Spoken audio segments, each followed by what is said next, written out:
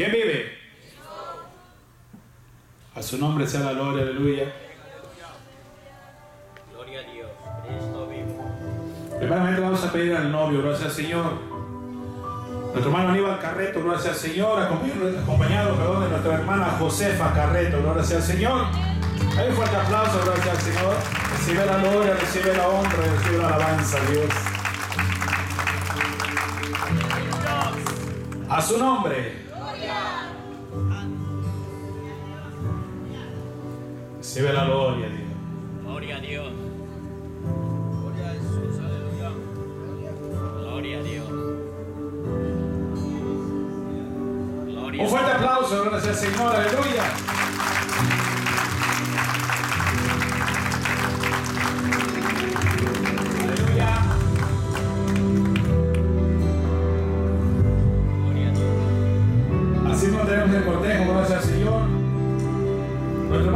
Tommy, Avilés, gracias al Señor, hermana Marjorie Santa María.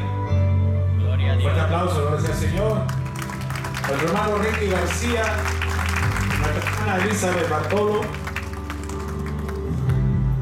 Gloria a Dios. A su nombre sea la gloria, aleluya. Nuestro hermano Wilson Agustín y nuestra hermana Yesenia Pérez.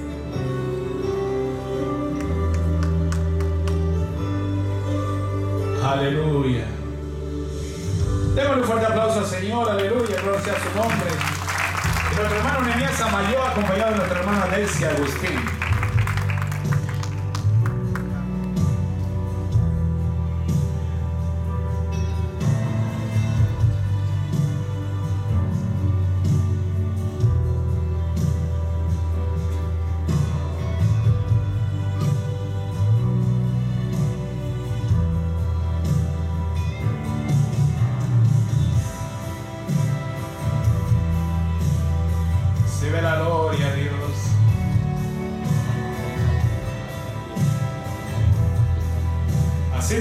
Biblia, gracias Señor, tenemos a Pastora Juana Samayoa.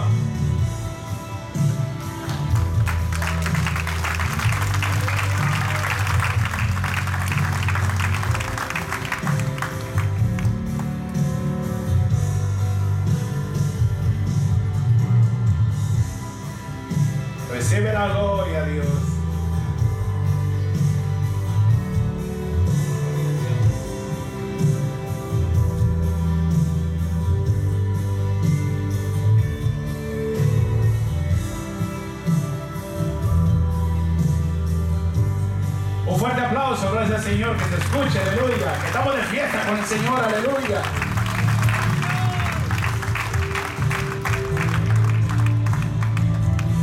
Así mismo con los anillos, gracias al Señor, tenemos a nuestra hermanita. Jennifer Morales.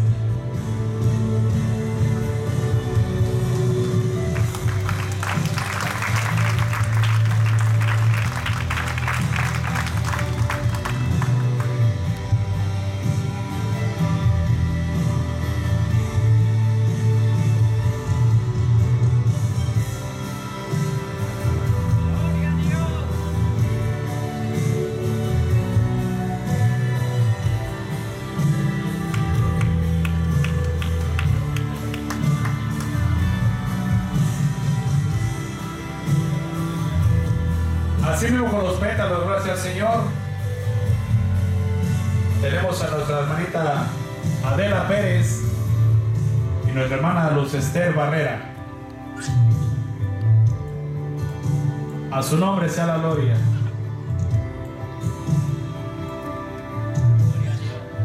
A su nombre sea la gloria, aleluya.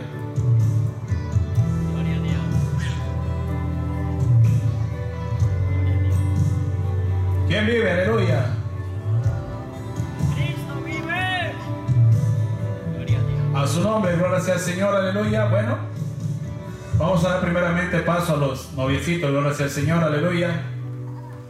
Conformado con nuestros hermanos Daniel Samayoa, nuestra, nuestra, nuestra hermanita eh, Emma Ross Pérez.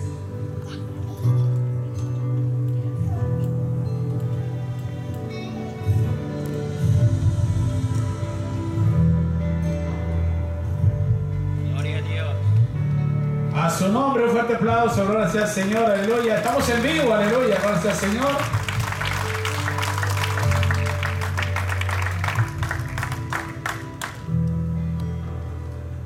Aleluya. Gloria a Dios.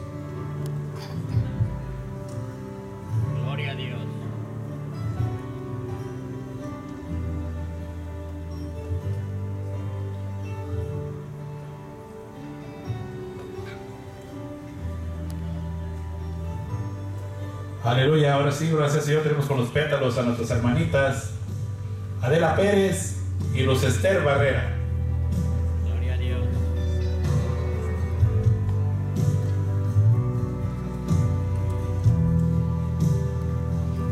Que se escuche un fuerte aplauso, gracias Señor, aleluya, que estamos contentos ahí acompañando a nuestros hermanos. Aleluya.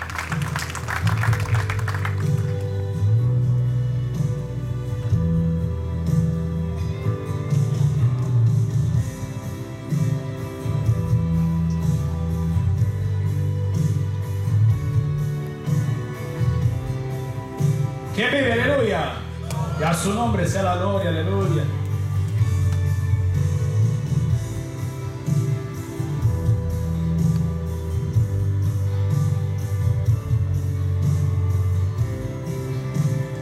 Así mismo, hermano, gracias Señor. Les voy a pedir que se pongan de pie, gracias Señor, para recibir con un fuerte aplauso a la novia, gracias al Señor.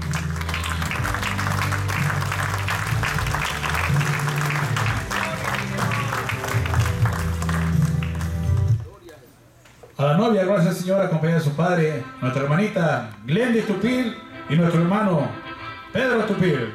Un fuerte aplauso, aleluya, gracias Señor.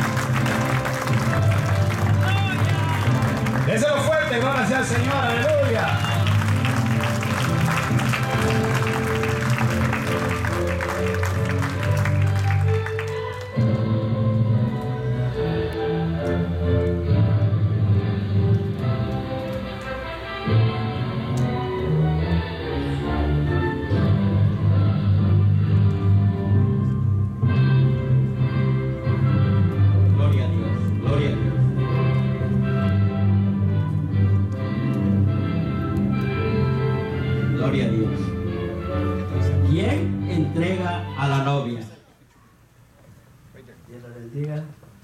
Pueblo de Dios, en esta tarde, hermano Aníbal, que el Señor le bendiga. Le hago entrega en el nombre de Dios a mi hija y los saludo en el nombre de Dios, Dios Padre, Dios Hijo, Espíritu Santo. Esto que se, se ha realizado realmente es para toda la vida, hasta que Dios sea la orden de Él y que Dios los separe y nunca jamás vayan a pensar dejarse a medio camino esto. Que sea una bendición y que Dios los bendiga y que la paz de Dios esté en ustedes. Siempre busquen de Dios. Sabemos bien de que sin Dios nosotros no, no somos nada. Pero si ponemos a Dios en primer lugar, todas las cosas salen bien. Bendito sea Dios. Gracias. Y me cuidas. Cuídate las cosas.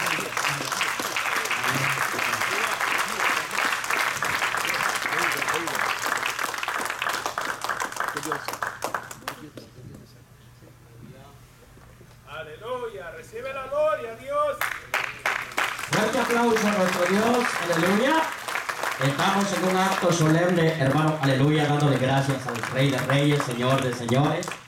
Y le damos gracias al Señor por este, aleluya, acto solemne que se está llevando a cabo, hermanos, la boda de nuestro hermano Aníbal, nuestra hermana amén. Fuerte aplauso a nuestro Dios. Gloria a Dios, gloria a Dios, gloria a Dios. Gloria a Dios, gloria a Dios. Gloria a Dios, Gloria a Jesús. gloria a Dios, aleluya. Gloria a Dios. Adoramos al Señor, pueblo. Gloria a Dios, gloria a Jesús. Dios continúe bendiciendo a todos de una manera especial. Todos sean bienvenidos a la casa del Señor. Amén. Aleluya. Estamos reunidos en la presencia de Dios y de estos testigos para solemnizar este ante el Todopoderoso el matrimonio que este hombre y esta mujer ya han celebrado aún ante las autoridades civiles. El matrimonio es un estado honroso instituido por Dios. Dios, Dios y santificado por la presencia de nuestro Señor en las bodas de Canaán de Galilea. La Biblia dice que es honroso en todo el matrimonio y se le, se le consagra como símbolo de la unión mística entre Cristo y su iglesia. El matrimonio debe contraerse con reverencia, en el temor de Dios, considerando los fines para los cuales se ordenó, es decir, para el compañerismo, el apoyo y el consuelo que los esposos deben tributarse recíprocamente mientras vivan. El matrimonio fue ordenado para continuar la sagrada institución de la familia y para que los hijos que sean herencia del Señor sean criados en piedad, rectitud.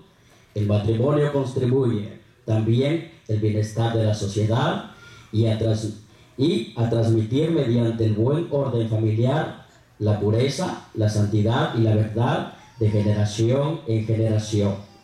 En el huerto del Edén, Dios instituyó una unión con la primera pareja a fin de hacer feliz a la humanidad. Desde entonces los seres humanos han practicado, lo han practicado, y para darle firmeza la han legalizado. La han legalizado, puede decirse que el matrimonio es el contrato jurídico de una unión espiritual. Vamos a orar. Padre, en el nombre de Jesús de Nazaret, estamos delante de ti, de tu presencia. Le damos gloria, honra y alabanza. Tú eres Rey de Reyes, Señor de todos los señores. Tú eres el Alfa y el Omega, principio y fin, primero y último. Tú eres todo para nosotros y fuera de ti no tenemos a nadie. El mundo tiene muchos dioses, pero nadie ha podido hacer nada. Solamente tú creaste los cielos y la tierra, el mundo y todo lo que en él habita, mi Dios. Tú conoces las estrellas y a todas le conoces por su nombre. ¿Quién como tú, mi Dios? Por eso te adoramos, te damos gloria, honra y alabanza. Y Dios mío, te pido en esta hora, toma control, Dios mío, de esta enseñanza.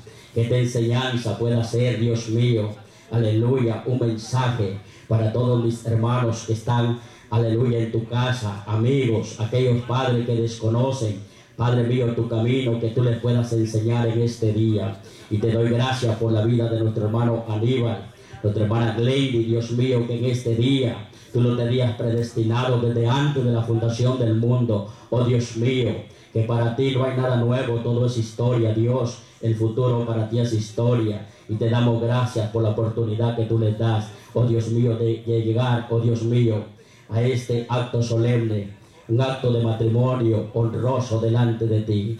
Me encargaré siempre de darte la gloria. Gracias por la vida de mis hermanos que han participado, Dios mío, todos aquellos que participan en tu casa, en todas las actividades, que tú lo bendigas y todo sea para honra y gloria tuya. En el nombre de Jesús, amén y amén. Puede tomar su asiento, pero que no siente la alabanza, aleluya. ¿Cuántos pueden darle un fuerte aplauso a nuestro Dios, a nuestro Rey, al Todopoderoso, al que era, al que es y al que ha de venir. ¿Cuántos le están esperando? Dije que cuántos le están esperando. ¿Cuántos adoran al Señor? Aleluya. Así mismo, hermanos, también le damos la bienvenida, aleluya, a todos en general y le damos también la, bienvenida a los familiares, aleluya, de la novia.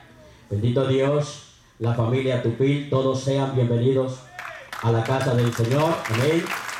Si ellos invitaron familiares, amistades, sean bienvenidos a la casa del Señor. Como también de parte de nuestro hermano Aníbal Carreto, todos los familiares de él que están en la casa del Señor, que fueron, que fueron convidados amigos que fueron convidados, invitados, ¿cuántos adoran a Dios? Sean bienvenidos a la casa del Señor. Amén. Y toda la iglesia en general, sean bienvenidos, hermanos, a la casa del Señor. Este acto, hermanos, es un acto solemne que verdaderamente todo lo hace Dios. Y estamos más que agradecidos con el Señor. Dios es bueno y para siempre es su misericordia. Y así también, hermanos, eh, le damos gracias a Dios por la vida de mis hermanos, nuestro hermano Aníbal, nuestra hermana Glendy, aleluya. Que verdaderamente le damos gracias a Dios por ellos que han podido llegar al altar. ¿Cuántos adoran al Señor? Y es un santo y bendito privilegio de parte de Dios. Amén. Aleluya.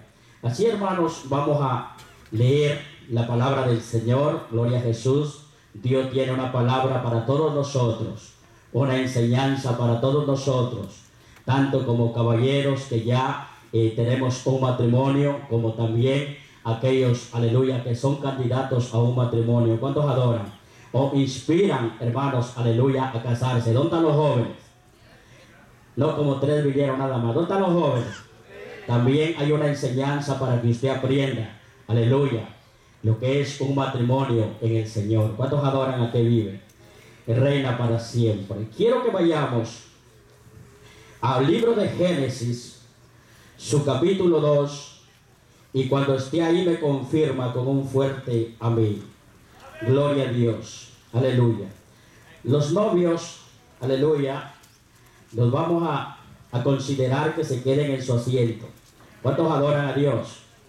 Pero en la iglesia se pone de pie. Bendito sea el nombre del Señor. ¿Vive o no vive? Gloria a Dios. Quiero que vayamos al libro de Génesis, su capítulo 2, verso 7. Cuando usted ahí me dice un fuerte amén.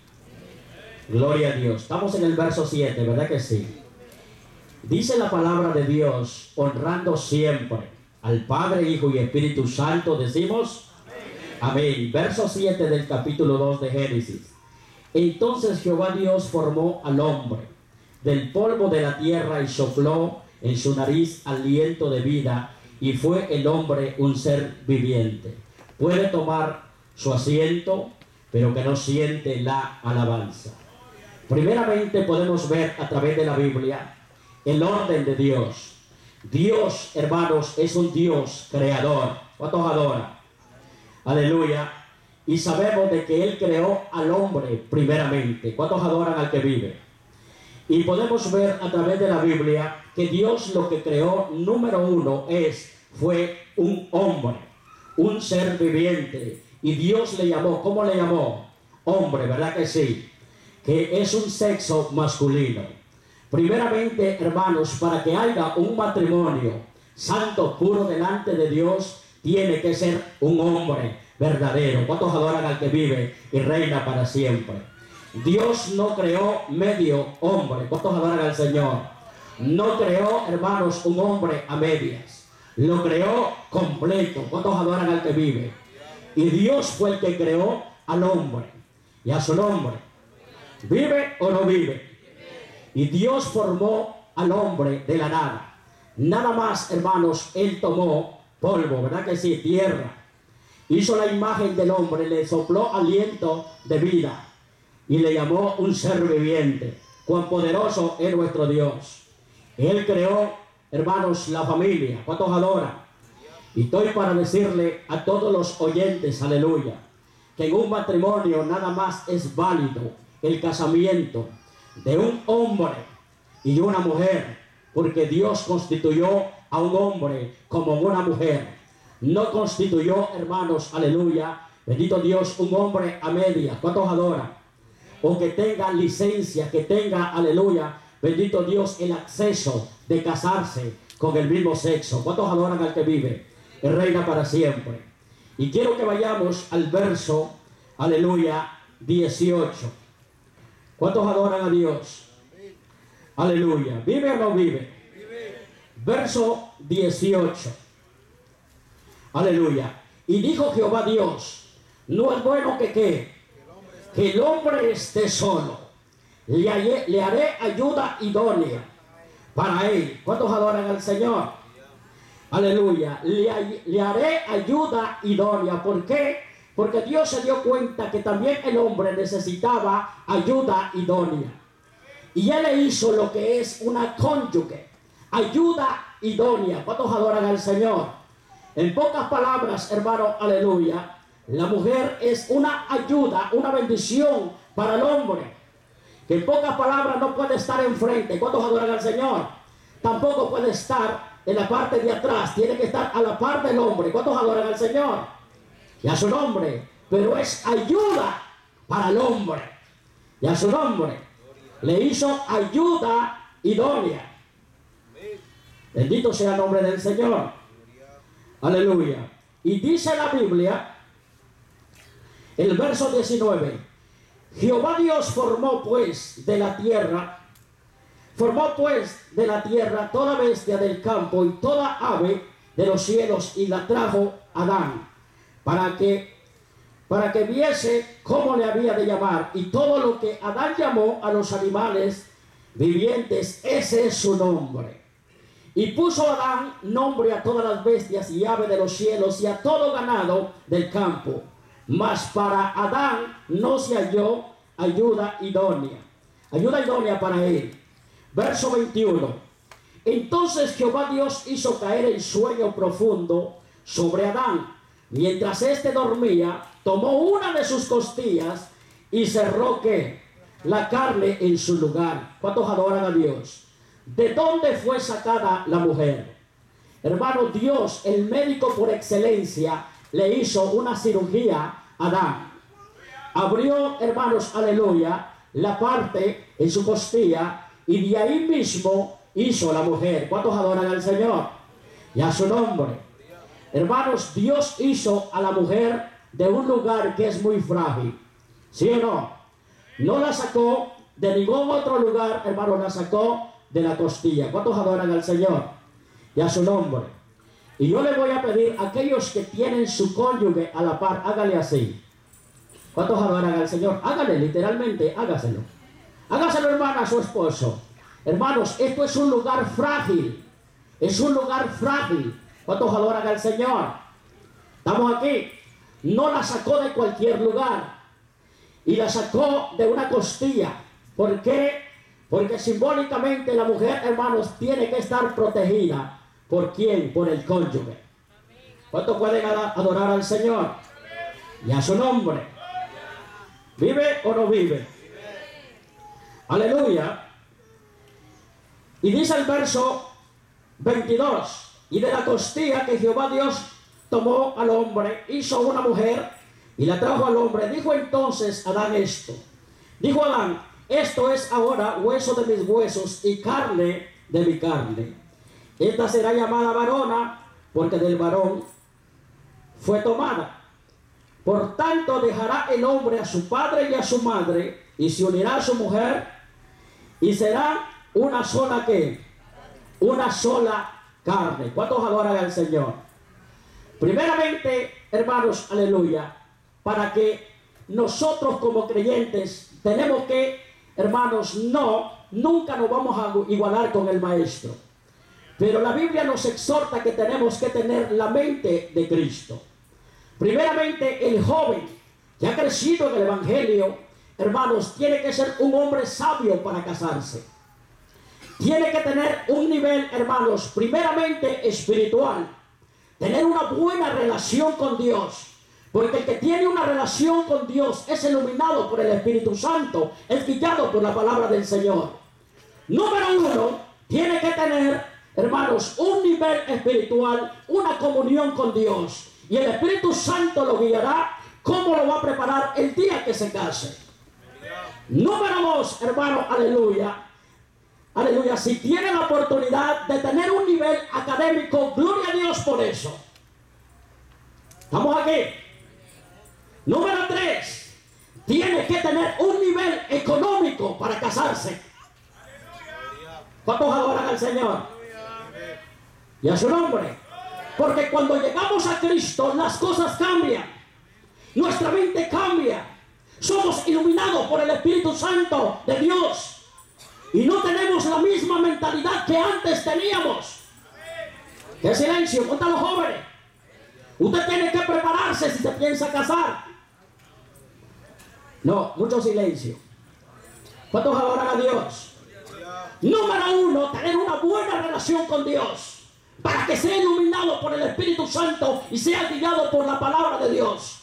Número dos, si tuvo la oportunidad de tener un nivel académico, aprovechelo. Porque le va a servir en el mañana. Número tres, tener un nivel económico. ¡Qué silencio!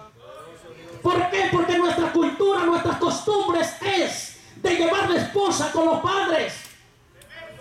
hermanos, ahora, ahora diga usted, ¿por qué Noé no metió a la suegra en el arca? ¿Cuántos agarran al Señor? Y a su nombre. Porque si Jesús dice, dejará al hombre a su padre y a su madre y se unirá con su mujer y los dos serán una sola carne. ¿Cuántos adoran al Señor? Es que son una nueva familia. Ahora su familia verdadera de Aníbal, aleluya, secundario en tu familia, de tu casa, de tus padres, pero primordial es Lendy desde el día de hoy. Y a su nombre. ¿Cuántos adoran? ¿Cómo es posible? Aleluya, que yo hacer un lado a mi esposa, hermanos, y primordial que tenga yo en primer lugar a mi familia, a mis padres, a mis hermanos y mi esposa desahuciada. Ella por segundo, tercero, no. Número uno es mi esposa. Después, la familia. Qué silencio. ¿Cuántos adoran al que vive, reina, para siempre? ¿Ven? Pero ¿cuántos jóvenes hoy se quieren casar solitos en este país? Y todavía prestando para su renta. Porque todavía no les ha amanecido el Evangelio de Cristo. No, este, este sermón usted no lo escucha donde quiera. Tenemos que hablar una verdad, una realidad de lo que estamos viviendo hoy. ¿Cuántos adoran al Señor? Y por eso los matrimonios viven. Hermanos, en un momento, en un tiempo malo, que verdaderamente como que no conocieran a Dios y a su nombre. Y le damos gracias a nuestro hermano Aníbal, porque Aníbal es un ejemplo para los jóvenes. Aníbal está preparado. ¿Cuántos adoran al Señor? Y a su nombre. ¿Vive o no vive? Aleluya. Pero Hermanos, ¿qué es la mentalidad de todos los jóvenes? Llevar a la mujer con los padres. El padre tiene que enseñar a su hijo, padre creyente, a que haga sus cosas. ¡Qué silencio! Yo reúno a mis muchachos y les digo, un día se van a casar, pero primero muéstrenme su casa. Primero muéstrenme su casa. Si se quieren casar. ¿Cuántos adoran al Señor? Primero muéstrenme la casa. ¿Dónde van a llevar a vivir a su esposa? ¿Cuántos adoran? ¿Vive o no vive? Entonces, dejará al hombre, a su padre y a su madre, se unirá a su mujer y los dos serán qué? Tu familia verdadera. Tu familia, sus padres, no lo estoy haciendo a un lado. Estoy hablando que tu familia verdadera hoy es tu casa. Tú ya sos una familia sola. Ya no depende de papi y mami y la hermana también. Amén. Ahora dependen de Dios. Y con la ayuda de Dios van a salir adelante. Y que sean ejemplo para anunciar el Evangelio de Jesucristo. En su nombre. Aleluya. Pero hoy, hermano, estamos viviendo un tiempo. Aleluya hijos ahí mal criados, mal contemplados. El papá